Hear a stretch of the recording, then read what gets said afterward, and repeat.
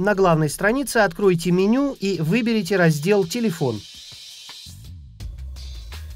Важно, перед первым использованием телефона необходимо выполнить его сопряжение с системой. Благодаря подключению по Bluetooth можно использовать функцию «Свободные руки». Система может хранить в памяти данные до шести телефонов, однако функцию «Свободные руки» можно использовать одновременно только с одним из них. В списке устройств можно выбрать телефон, данные которого сохранены в памяти системы.